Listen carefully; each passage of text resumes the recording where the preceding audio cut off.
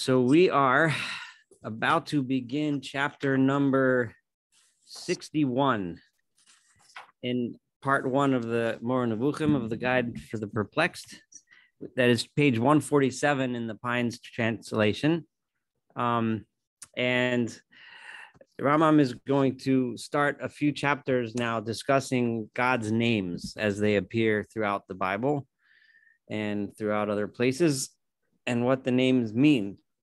Um, it'll be obvious as we read it why this is very uh, relevant to the subject he just discussed, which was uh, giving God attributes, um, and that we can't positively describe him in any way. And the only way to come close to the knowledge of God is through negative attributes. That's Rambam's theory, what one of the theories he's famous for.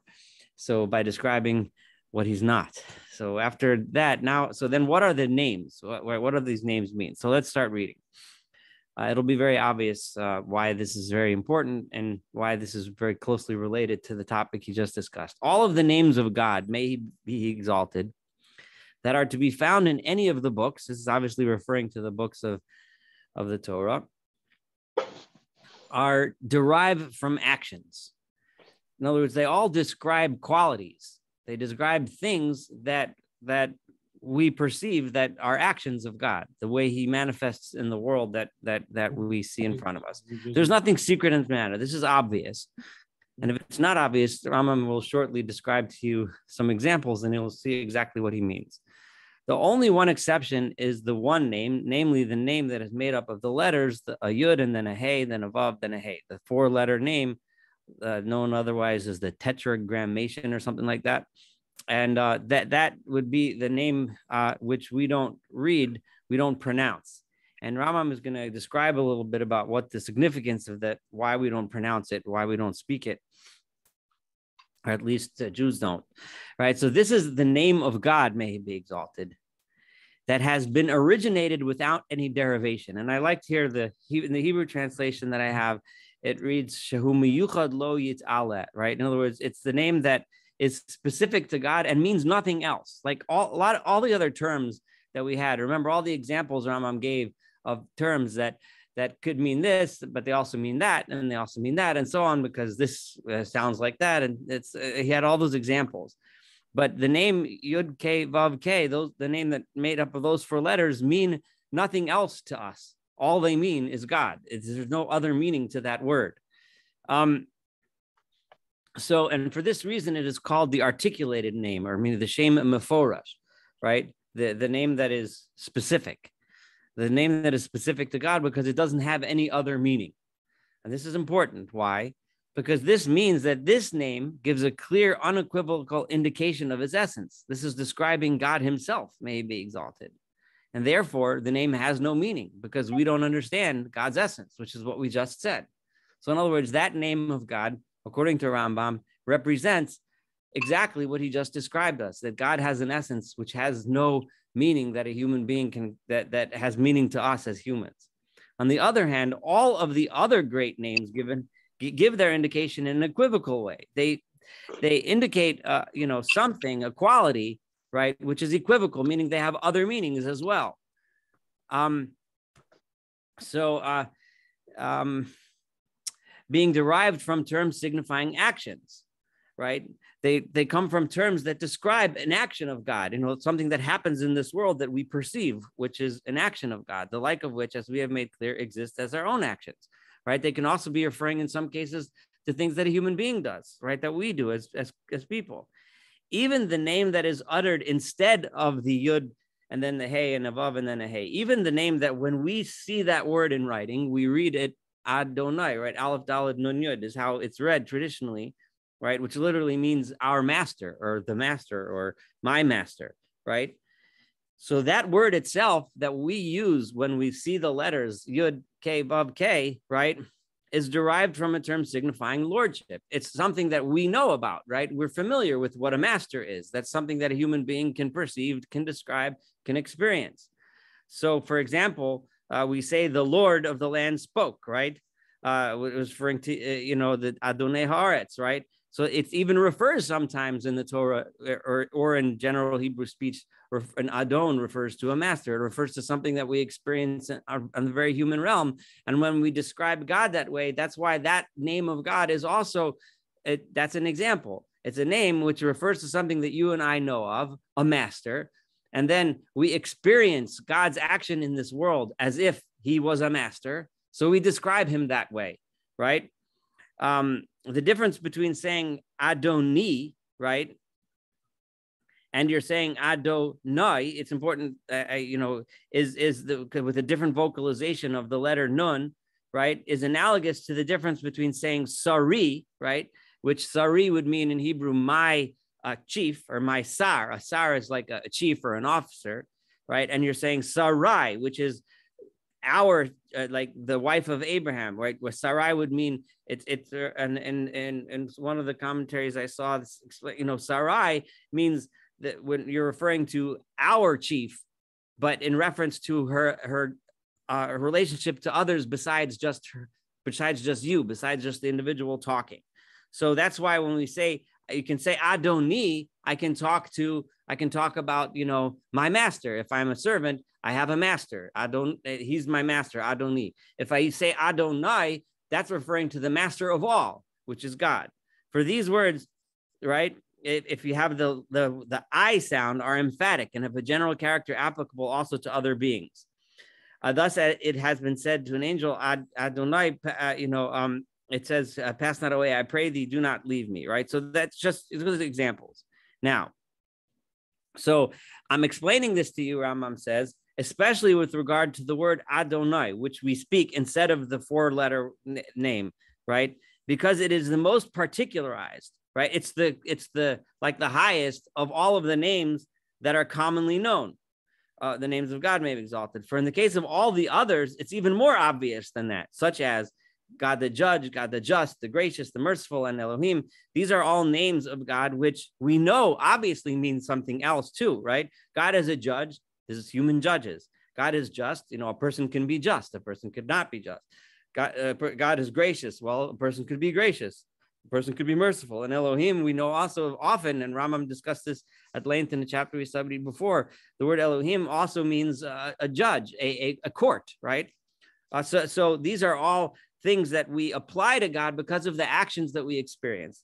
It is manifest that they are used in a general way as well as that they are derived. Clearly, that derived meaning that that there are words that mean something else right that mean uh, uh, uh, something that we can experience as humans and then we describe god that way and Rambam already explained what it means it's not we're not really describing him we're just describing the actions that we experience um, as for the name that if pronounced is composed of those four letters the yud and the hey and the vav and the hey right no commonly accepted derivation of it is known and none other than he has a part in it there is no other word that means those four letters. It doesn't mean anything else.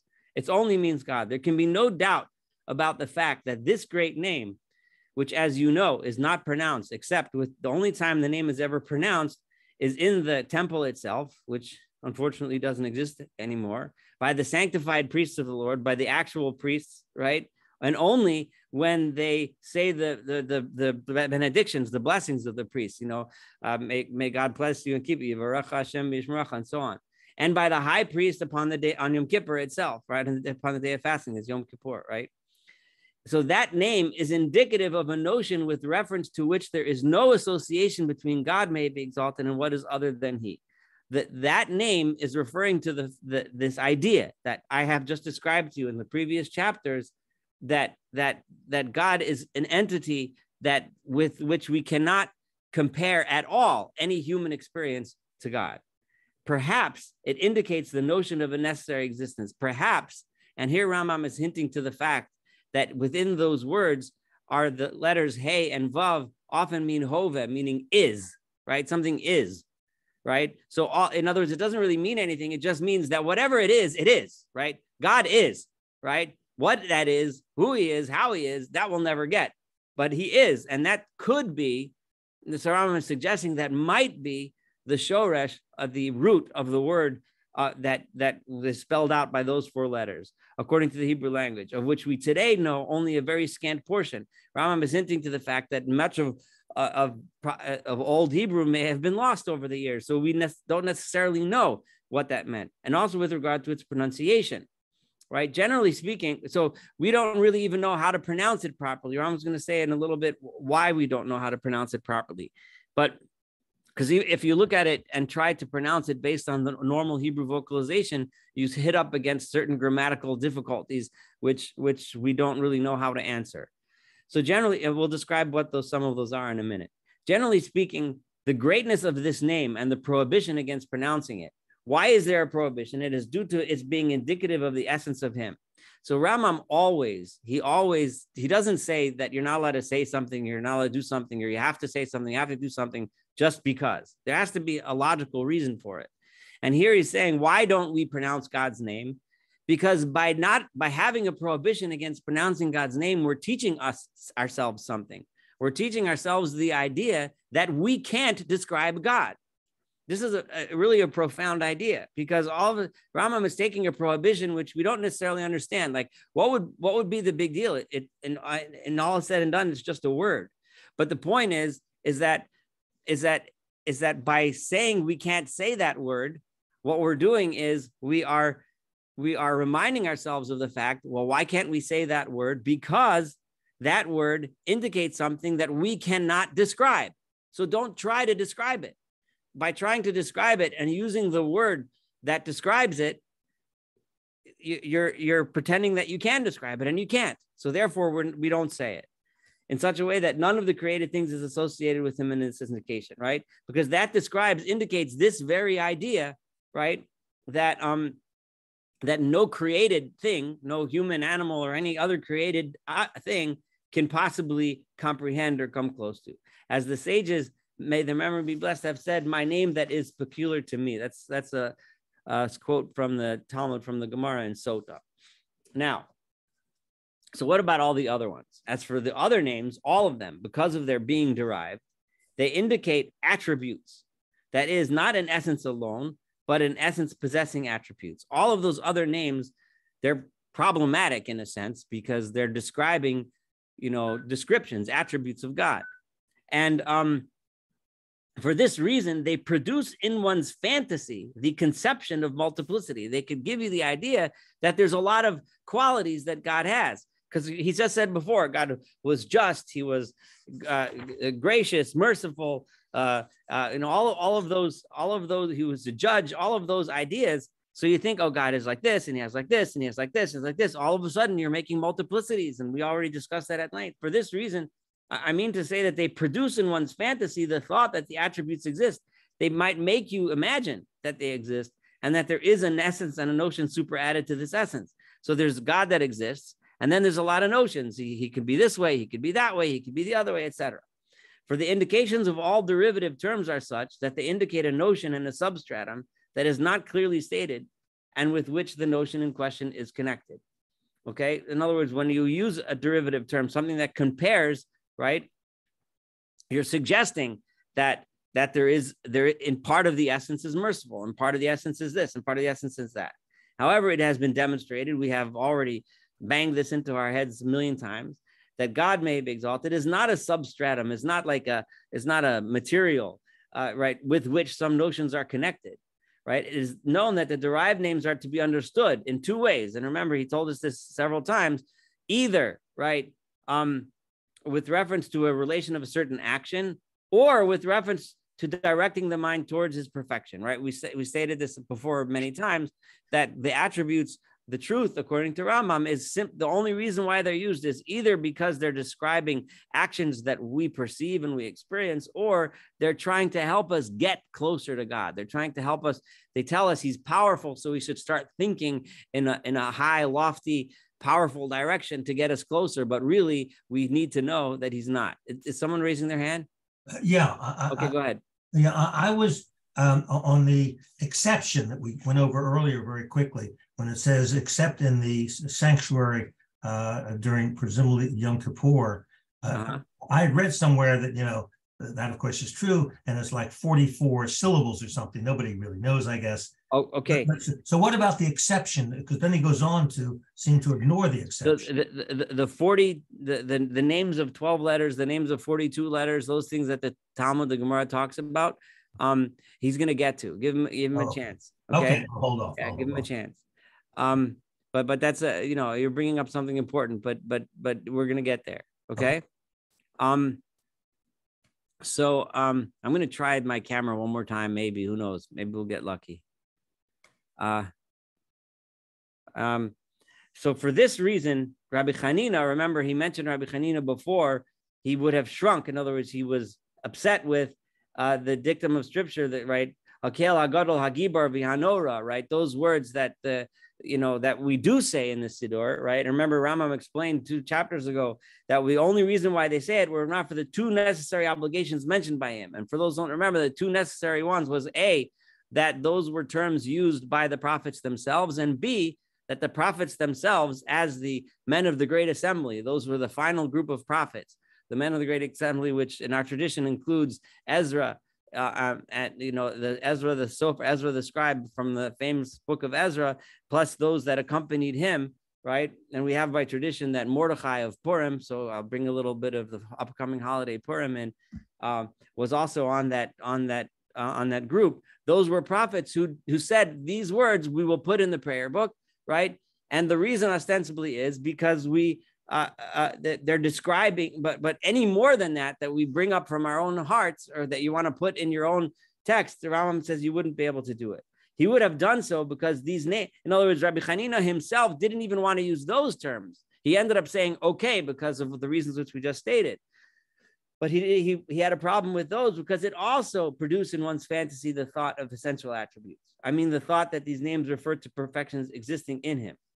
And when the names deriving from the actions pertaining to him may be exalted, were multiplied. And then as the guy went on and on and on, adding more and more and more qualities, they produce in the fantasy of some men the thought that he has many attributes, just as there is a multiplicity of actions from which these names derive, right? In the same way that um that you know uh, uh, all of those all of those qualities, all those attributes describe things that you and I experience as different things. Hence, and this is really deep here scripture promises, this is the book of Zechariah, right? It says a famous word, you know, we have this all the way at the end of the of the davening of every tefillah and the end of Aleinu, on that day, that ultimate day of redemption, Hashem, the, the four-letter name, Yud, the name of Yud Kevav K, right? Echad will be one, Ushemo Echad, and his name will be one, which means that in the same way that he is one, in fact, right? He will be invoked at that time by one name only. There will only be one name because we will all understand, right? Which is that one name of which is indicative only of the essence and was not derivative. We will have divested ourselves of all these anthropomorphic notions of God, and the entire world will recognize that God is one, right? Meaning that and and and and Shemo Echad, the name is one, the specific name that with those four letters, you know, when you think of when all of a sudden this this the idea of God's name, we can understand why it's so important. Why why does Zechariah choose to say in the future God's name will be one? What what does that mean? Well, Rambam tells us that it means that we will finally understand this concept and this notion that, according to Rambam, is so important. This basic idea that God is one, that takes us away from the ideas of polytheism.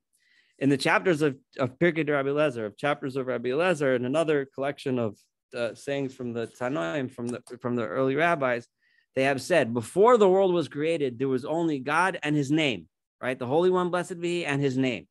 What does that mean? It, was there two things? No, right? Consider how now how this dictum states clearly that all the derivative names have come into being only after the world has come into being. Only after creation could there be, right? Descriptors of God, right? Only after God creates the world can there suddenly be um, um, uh, uh, uh, you know, we can call him as a judge, we can call him as just, we can call him as all these things. Before creation, all that stuff was irrelevant because all there was was the essence of God Himself, right? And all those names mean nothing. They describe actions. Actions are completely irrelevant prior to creation. This is correct. For all these names have been laid down so as to correspond to the actions existing in the world. That's what those names meant. However, if you envisage his essence as it is when divested and stripped of all actions, then he no longer has a derived name in any respect whatever. The only name he has is the original name, which is discussing his essence.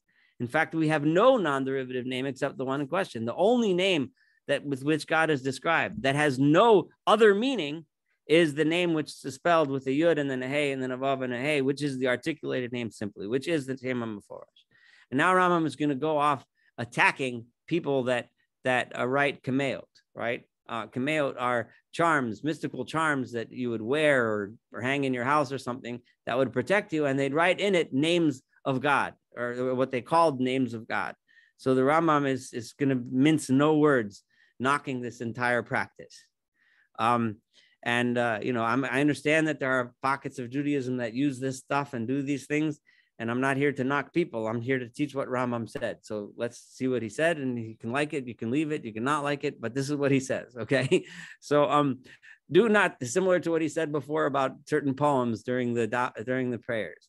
Do not think anything other than this, and do not let occur to your mind the vain imaginings of the writers of charms. In the Hebrew, it's translated as cameo, right? Or what names you may hear from them, or when they repeat names of God, or may find in their stupid books. And actually, the Hebrew translates it a little stronger than stupid. The English was was uh, taking it down a notch, and the Arabic, according to Kapach, was even stronger than that. Names that they have invented, which are not indicative of any notion whatsoever, but which they call the names, uh, uh, but which they call the names, and of which they think they necessitate holiness and purity and work miracles. All these are stories that it is not seemly for a perfect man to listen to, much less to believe.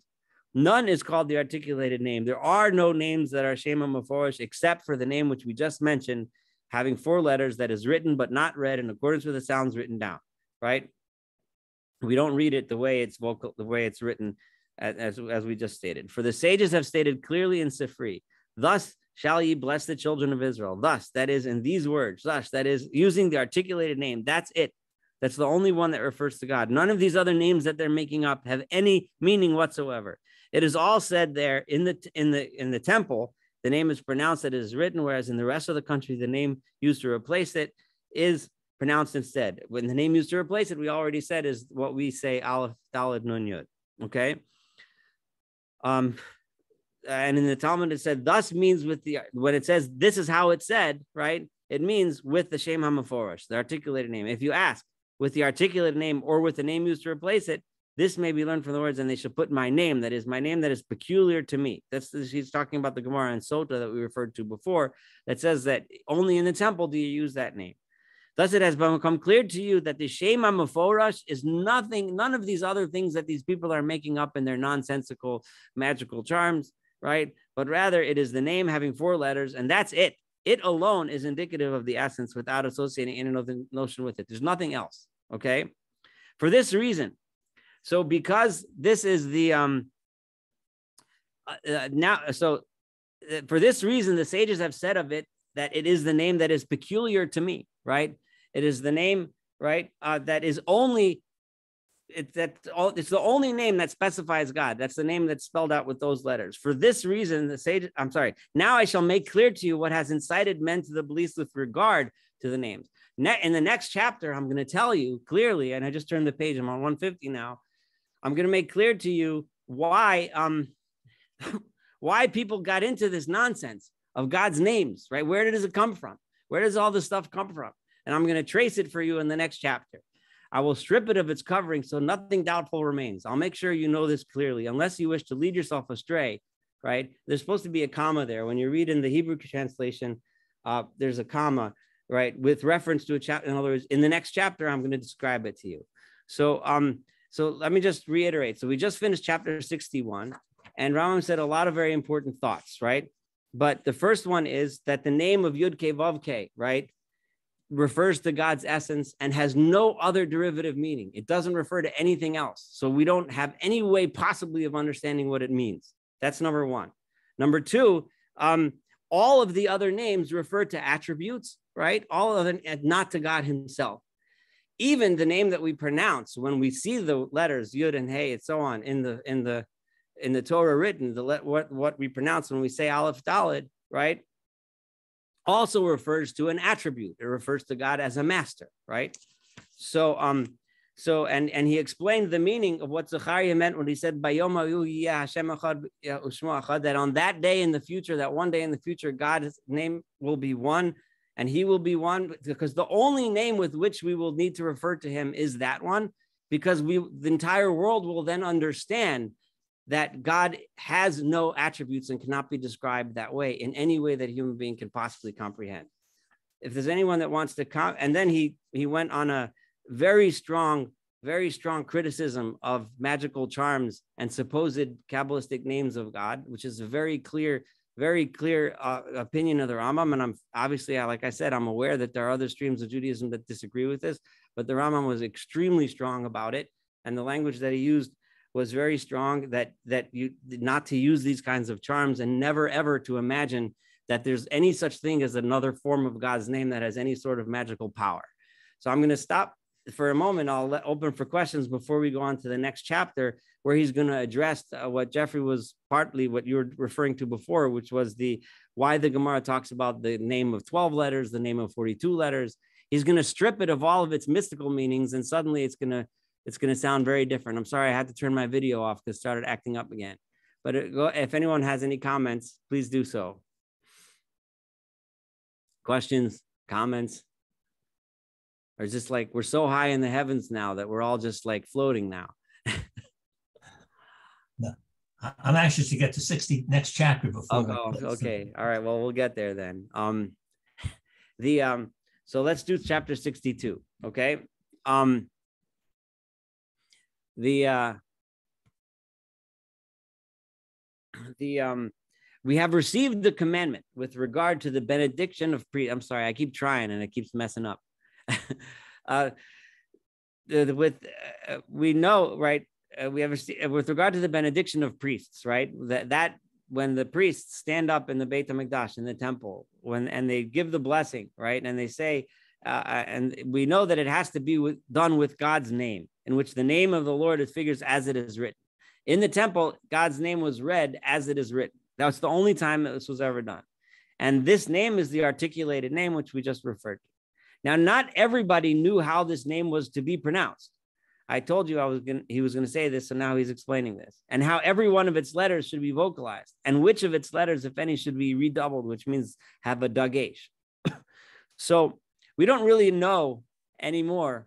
Does anyone here, uh, a Hebraist, who knows how to pronounce a hay with a dagesh in it, with a dot in it, as opposed to a hay without a dagesh in it? You mean a mapike? Or a mapike, right. Yeah, I mean, so I, I read the Torah every Shabbos, so I have to. Yeah, but do we? What Rambam is saying here is that we we have people have different ways of doing things, but we don't really know the difference, right? Right. So, so, so, so, um, we, we, we have our various traditions of doing things, but we know within, within the, the people uh, nowadays that speak Hebrew, there's like 7,000 different ways to, to pronounce things. And if you ask 7,000 people, you get 7,000 opinions as to which is the right one. Right. So, um, so maybe and, that's why the priests had to train for five years before they could. Um, because they, you know, they knew the right way, right? Uh, maybe, but um, well, he's going to talk a little bit about what you just mentioned about learn how why it's taking so long to teach people the name. Rambam is going to tell us why, but we'll see that in a second. Accordingly, the men of knowledge have transmitted this. I mean, the mode of pronouncing it. That because we don't, not everybody knows, and because it's actually complex how to pronounce these things, um, uh, they they they would transmit it to each other, but they did not teach it to anyone except once a week to a worthy scholar. I believe that that's also a quote from the Gemara, from the Talmud. The dictum where also the Talmud says the sages transmit the name having four letters once a week to their sons and their pupils, referring not only to their teaching the mode of pronouncing the name. So, so Rama is saying that number one, how to pronounce the name specifically, how to do it, is something that that only some people know and was taught.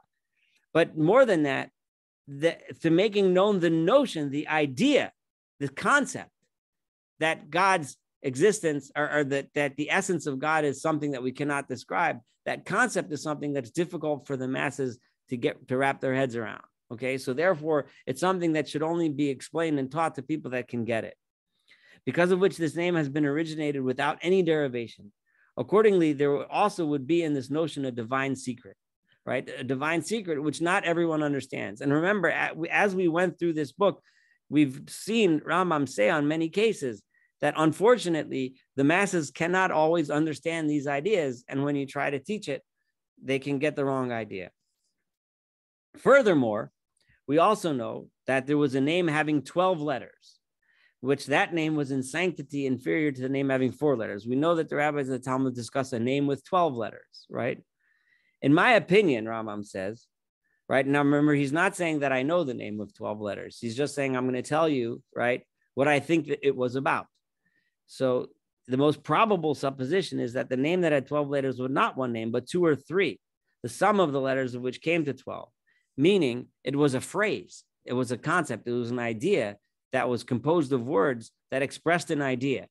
And that idea, we'll see in a second, is a description of God's essence. How do you describe God's essence? Rambam, and I'm going to say this as commentary of my own, Rambam would obviously, after reading his previous chapters, tell us that it was using his principle of negative attributions. There's no way the Rambam could possibly accept a description of actual God's essence that are in human created words. The name was uttered in all the cases in which the name having four letters occurred in the reading of scripture that they used in those old days instead of what we use nowadays of, of Aleph Dalet Nun Yud. In those days, Rambam understands that the name of 12 letters was a phrase that people read when they saw the word Yud K Vav K they used the 12 letter name. So they used a phrase, right, which described God, okay, but it wasn't the Yud K Vav K. So it was very similar to what we do today, right? But it was just a different name. This is the Rambam's explanation. Uh, there's uh, many other explanations of what the name of 12 letters is because it's this mysterious thing that people, you know, kind of like to talk about. But this is Rambam. This is how he explains it. This is how he understood it just as we uttered today in the same case as Aleph Dalet. You hear that? So that's what I was describing outside. Now, this name also, namely the one having 12 letters, is undic- undoubtedly indicative of a notion more particularly pertaining to God, right, than is the case with regard to what is indicated by Aleph Dalet. In other words, it was a loftier term, it was a higher term, it was closer to a description than the one that we use, which is Aleph Dalet. But this name was not prohibited and withheld from any of the men of knowledge. On the contrary, everybody who sought to learn this name was taught it. If a person came to Shul and wanted to know, what do I say when I see, when I'm reading the Torah and it says Yud K Vav K, then they would teach them, this is what you say, the 12 letter name. But this was not the case with regard to the name having four letters. How to pronounce that name properly was saved for the temple. Only special people knew that. For no one of those knowing it taught it to anyone except once a week to some of the people, like we said before. In consequence, what happened was blameworthy people started learning the name having 12 letters, and through this, corrupted beliefs. They started having these notions because it was a phrase that was supposedly describing God. They didn't understand the concept that I've been teaching you, Rambam says, that whenever we describe God, we're not really describing him. And they started having in mind, ooh, this is the name that describes God. And they started thinking that they knew how to describe the essence of God. Now, that could be a really big mistake. Okay. I, I am gonna go out on a slight of a limb over here, right? I want you to think like, why does it matter so much when you describe God, right? What, why is that an important notion? And think about the essence and depth of the religion of Judaism in contrast to the most popular religion in, in, in parts of the world, especially the country we live in today, where descriptions of God are very, very, very um, personal and literally as a person. Rambam is so important to him to emphasize that we can't try to describe God as a being of any sort, let alone, of course, not a human being, right? Because if you give him attributes and you give him properties of a human, you completely corrupt the concept of God. Trying to get that confused and messing it up is a huge, huge problem. And I hope you can understand why this is a big problem. When people argue over over Judaism versus Christianity and get involved in polemics and things, they think they're arguing a silly argument over who's the real Messiah. But what we're actually discussing is like the most fundamental theological issue that the entire religion of monotheism is based on.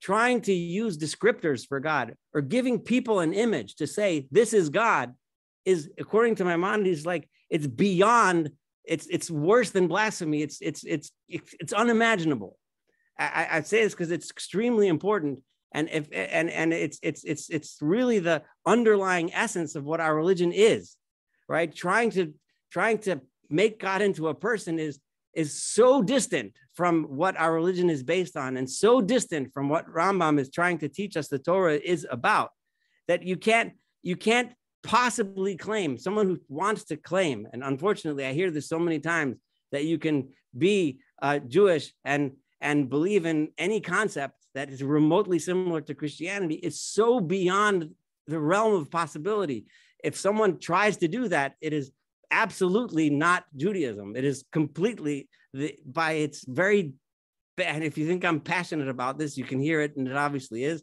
and and, and it's just it's just really it, it, it's so important and it's not hidden. It's the Rambam is writing this for a reason. He knows who his enemies are.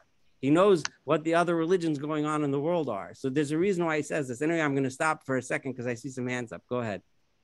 So how is it that in our prayer book, you know, it, it's our Father, our King, our which you know obviously it's for the the visual that people get this you know and it it um this is this is it's it's that's why Rambam was blasting so much all the additions to the prayer book, right? Right? He said the only thing, even the even the prayer book itself, right? The first three words of the Shmon Esrei of the Amidah, Hakel Hagadol Hagibor V'Anora, the Rambam said the the the the re- gut reaction of the rabbis was to was to get angry and no, you can't say that, right? That was their gut reaction because because um because how could you describe him? And then the Rambam said, we do because the simple folk need to be led to the to the the, the goal of Zechariah, like Rabbi said uh, that Rambam said, the goal of the Zechariah is that one day we will all get it. Bayomahu, yeah, we have to work on it, we have to achieve it, we have to get there, right? And we're trying. These words that are chosen are chosen to help us get there. When we sit in daven, we're supposed to use these words to guide us in the right direction or we can use these words and if we understand that this is how we experience God in this world, but nothing about what God is himself. So where would Rambam be on and and this just came up with somebody today yeah. that I had to speak to uh, the idea of a personal God like God is guiding my life. God is because he's compassionate, he's, you know, helping me and and personally guiding my life it's it's, um, it's, it's, it's how. what would Rambam say about that? Well, he didn't. That's that that's that's a non-Maimonidean God. I'm going to say in a very simple sense, Rambam did not.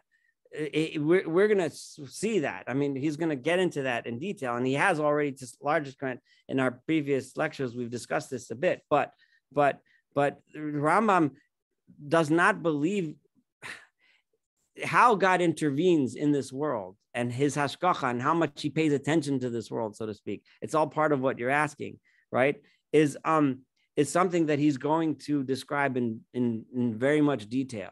But he's going to be driving towards a point where where the world is a world that God created and set up in such a way and runs in such a way, right? That the world that that that that the consequences of our actions, right, are what we reap, right? The consequences of our actions as people, the consequences of our actions as humanity in general together, and so on. So, so, so it is God acting, right? But he acts through nature, he acts through the world we live in, and he acts through the way he made this world, right? And he made this world in such a way that when we're good, things go well. And when we're not, things don't. Now it's it's obviously, but what about when the person who's good and bad things happen? I promise we'll get there, right? But but but whether God sits and looks at you and says, you know, what did Saul do today? Does he deserve a raise or not? Right? Right? That is not um it's not how it works. And he and he has said very clearly until now that God doesn't respond to prayers in the sense that, oh, he prayed to me, now I'm going to give it to him. That's also not how it works. Rambam has said what prayer does, and we've studied this already, and he's going to go into more detail. Prayer changes you, right? if things become better, it's because they changed you. And the natural consequences of you being better is that things are better. Now, are they better because they actually are measurably, or are they better because you've learned how to deal with them by, by recognizing your own strengths, your own weaknesses, and, and recognizing the meaning of the universe? That's the different story. But now, but but you asked a good question. We're going off a little, but I went off a little, so I'll take the blame for that, right? but um, I just wanted to emphasize why these um these names you know why why Rambam is is is it's so important to him when he says that people went to into these corrupted beliefs when they started thinking that God has these attributes when they started describing him why it's so important to him and that's why I went off on that tangent Jeffrey you have your hand up I see yeah uh, uh go ahead uh, uh, in terms of humanizing God right doesn't that lead then to Jesus son of yes. God and then this holy trinity so suddenly, once you go down that route, you're into a polytheism. polytheism. Is that something that's discussed as the linkage well, between? Rambam said he said it blatantly. He said two chapters ago that this describing God with attributes will lead to polytheism. Okay. okay. Right. And and and and and Rambam and also directly said that about the Trinity, right? Because okay. that is polytheism, and and and and the Rambam is is the main authority that people quote when they when they claim that that Christianity is is is idolatry. Now, um, I know that that would get a lot of people angry, and most Jewish authorities don't believe Christianity is authority uh, is idolatry. The problem the problem with that is that if you, the people that quote it, and this is the irony of it all, the people that quote Rambam and say, "Oh, you Christians are idolaters," right? Those people are, according to the Rambam, virtually always idolaters themselves, right? because um, because because if you take the Rambam's philosophy to its extreme, you know, eh, eh, well, or if you take it straight straight up, a lot of the things that people do with you know kameas, with magical charms, which we just learned, are people that describe God in all these descriptive ways. According to Rambam, that's also idolatry, right? So if you're going to start criticizing other people and their beliefs, well, you got to look at your own first, right? So, um, so, so you, yeah. Will you address also how Rambam, you know, the whole the talk about the Shekhinah and you know. Yeah, well, I mean, Rambam did did discuss that, uh, you know, and and the Shekhinah would then be uh, uh, an experience that we have of closeness to God. Now, so so I, I want to be clear. I want to be clear about something uh, about my own personal opinion. Do I think that most Christians are polytheists? Absolutely not. And I'll tell you why, right? Because most Christians realize that there's that they're monotheists and they understand, right? That now they have might have all kinds of confusing explanations, which would it might work for them, it might not work for them. I really couldn't care. I'm not a Christian, right? But but most Christians are not polytheists, they're monotheists. They but but but I know for sure that when you try to describe God as a human being, it can be as confusing as it is to think about God as a powerful old man in the sky that can split seas, it's a way 10 billion times more confusing if you describe him as a guy that walks around the street and does miracles, right? If you really want to confuse the hell out of people, so, excuse my language, like then, then like actually describe God as a person. Like Rambam would go, did go bonkers from that kind of description. Like it's bad enough he had to explain why the Torah says God has a, a stretched his outstretched arm, right? That's bad enough. Now you're going to tell me that you're actually going to say that God became a human? That's like, that, that's like, you know, so so most you know most Jewish authorities don't believe that Christians are idolaters. They just believe that they're really, really, really, really confused, right? But the Rambam is now explaining to us, but why is this important? And this is why it's important because it can lead you to thinking of an ultimate. When the more you describe God as a human being, the more you bring him down to earth in this in this respect. The, you're, you're, you're making him human and human and human, and all of a sudden you you start you start uh, relating to him like a human being. You start thinking that he should relate to you like a human being. And in Rambam's mind, that's the biggest mistake you could possibly make. Okay, so we just learned how he describes the 12 letters and why, once we started describing God with words and names and letters, people went off the wrong track. So this happens whenever anyone who is not a perfect man, in other words, anyone who hasn't been learning Moreh Nevuchim until now, I'm at the bottom of page 150 now, comes to know that something is not as he imagined it to be in the first place, right? right? So no, so so so someone started describing God to him. The sages therefore made a secret of this name likewise. So they said, you know what? Let's stop describing him with this stuff, right? So um and taught it only to the discreet. So that name, which used to be how everyone in Shul said it, like we say Aleph Dalet Yun, everyone used to use the 12 letter name. But they said, no, let's get this out of here. It's confusing people, right? To trying to protect people from making this terrible theological mistake that you can describe God like a human, right? So then he says, um, so um, they only used it giving their benediction in the sanctuary because by this time they ceased saying God's name even in the Beit HaMikdash, even in the temple, they had stopped using that and they started using the 12 letter name. Rambam is giving us the history of this. And it's interesting because from his perspective, this history is the history of trying to get away from thinking of God in, a, in with human terms, thinking of him as, as with human qualities, right? As they ceased to mention, okay, so they say, and he brings a story that after the death of Shimon HaTzadik, so we're looking, Shimon HaTzadik was somewhere around uh, what we would call the year uh, negative, uh, negative 60 or 70 or so in uh, uh in the way um uh, uh, somewhere around there. So about 150 years before the second Beit Hamikdash was destroyed. His brethren, the priests, stopped using the name and giving their benediction. In other words, they stopped using the name spelled with the yud and a hey, right? So, um, so instead they used the name with 12 letters. So at first, they also say at first the name with 12 letters was transmitted to everyone. And then when libertines, people that were free and did what they wanted and weren't careful, it was transmitted only to the discreet. And then only the, the priests said it, right? So, and they said it in a way that people shouldn't hear it.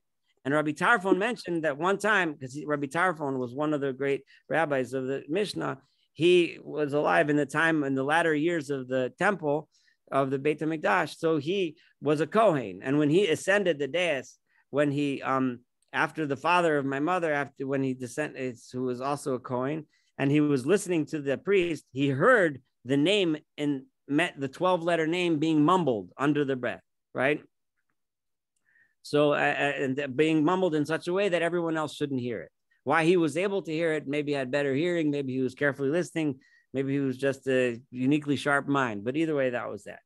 So now Rambam continues going on in history. They also had a name having 42 letters. It is known to anyone capable of mental representation, and Rambam is very strong language and is, is, is evident here. Anyone that can, with a brain, realizes that it's not possible that 42 letters should form one word. Now, I remind you that in other traditions, they do think that it's a 42 letter name that actually had, right? Um, I'm going to see if my video works now.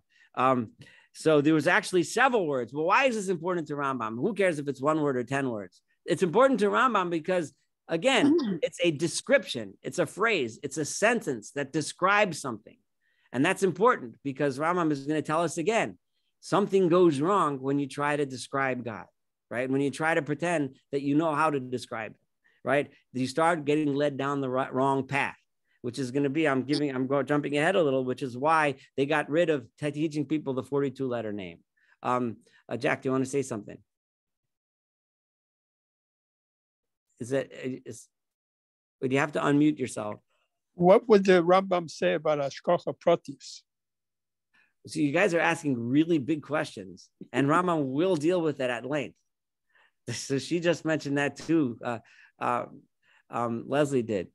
Um, so, so he's going to describe Hashgacha Pratis, and Rambam had an idea. Hashgacha Pratis is is is um how do you how do you, how do you translate that into English? Um, um, uh, Indivi- individual, uh, uh, like individual, like like God having, uh, you know, caring and watching over right what each person does in an on an individual level.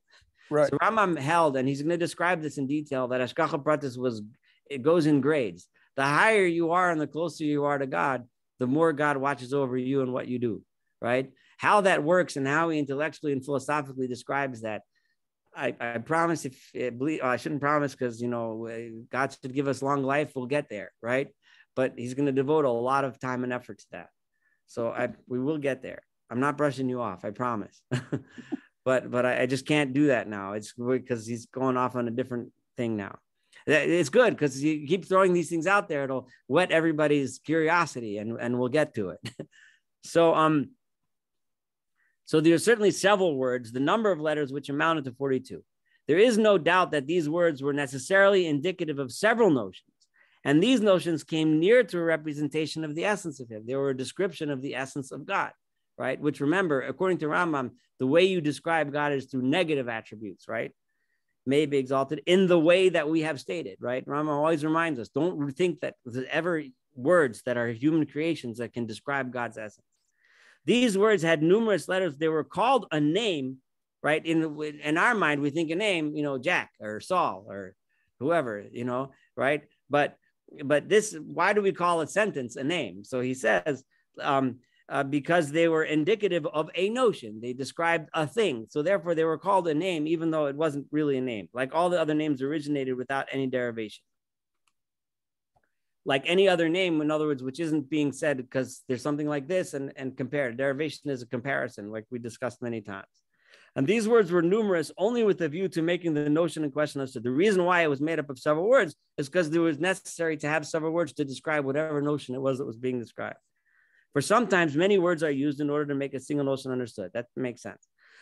Understand this accordingly and know that that which was taught were the notions indicated by these names. When they say that they were teaching these names, it doesn't, of course, it means they taught the names.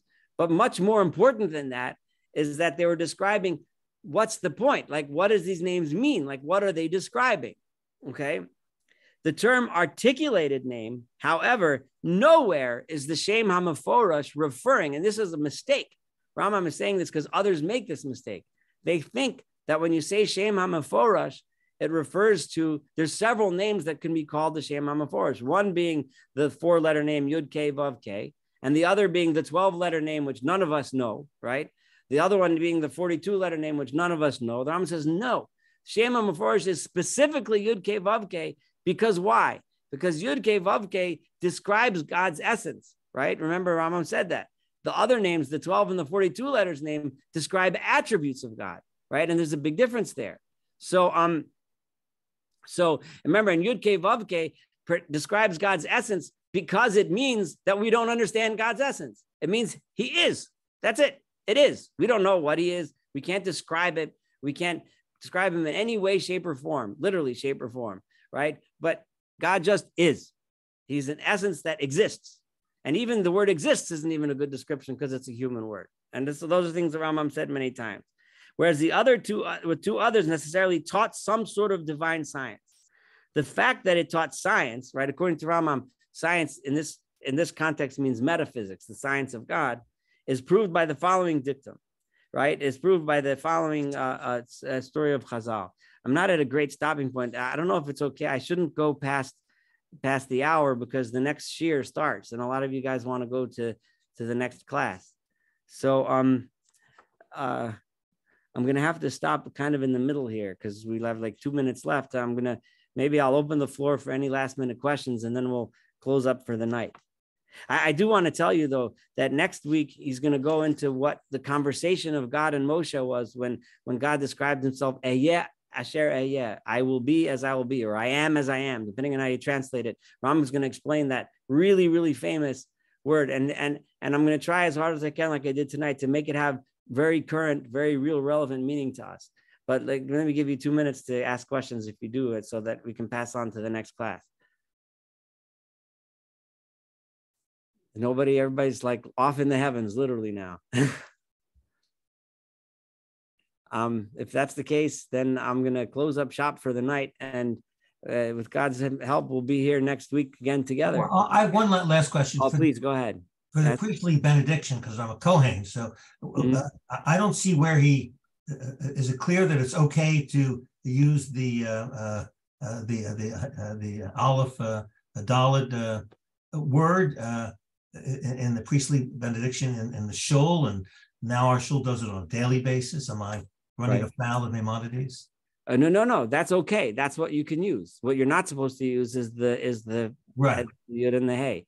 Okay. The, the, the, but the aleph dalet is is that's what we use as a description of how we experience God. That's what Rambam explains. We say aleph dalet nun yud because we experience God as a master. I see. So I'm, I'm our, right. It's a description of God's actions right? Okay. To us, he's a master. And that's the closest thing that we can imagine a slave with a master in, in this context. Sometimes we could experience him as a father, we can experience him as, as, as a benevolent uh, king or something, right? But, but in, in the, with regards to the priestly benediction, we experience him as a master, right? But, but, um, but that's it. As, yeah, and you have to understand that because the one that really describes his essence, we're not allowed to say. Why? Because it, we're trying to remind ourselves that God's essence is not something that we can ever understand. And that's a crucial, crucial point. And according to Rambam, is really the foundation of what monotheism is all about. The final question is, is, when, when Christians use the J word, not the right. Jesus, the other one, is that because they're trying to mimic the uh, the, the, the the sounds from just looking at the, the, the yeah if you look at if you look simply to the um to the if you look simply at the uh at the um at the words in the Hebrew uh, and the way the Nikudot are, right? It looks like uh, that's how you should pronounce it, but it's not. I mean, Rambam explicitly told us that none of us really know how it's properly pronounced. And if we did, we st- we wouldn't be allowed to say it either, of course, but we don't. And no, uh, you know, there's any anyone if and if you've ever read anything about the the ancient languages, you know, we can try our best to come close to how they were pronounced, but nobody, uh, short of somehow getting into a time machine and running a tape recorder, right, and taping somebody talking 3,000 years ago, there's no way to know exactly how they spoke, right? I mean, it's impossible. And, and, and for a fact, we know for a fact that a dagesh and a hay, which is why the Rambam picked that example, we don't know the difference between a hay with a dagesh or a hay without. We just don't know. So, so, so nobody can claim to know how to pronounce God's name, which has two hays in it, right? We don't know if there's supposed to be a dagesh, is there not supposed to be, and if there is, how you're supposed to pronounce. So anyone that claims to know how to pronounce it is just is just you know they learned a little Hebrew in Aleph Bay's reading class, and they opened the siddur and they oh well I know how to read that. What's the big deal? But no, they don't. Right. Anyway, yeah, but that's where it comes from. Thank you. Anything else? Now, uh, the next class I saw is about Shema Yisrael Hashem Elokeinu Hashem Echad. Think about how what the relevance is for those that attend. Anyway, take care and have a wonderful evening. Looking forward to seeing you next week. Thank you. Thank you.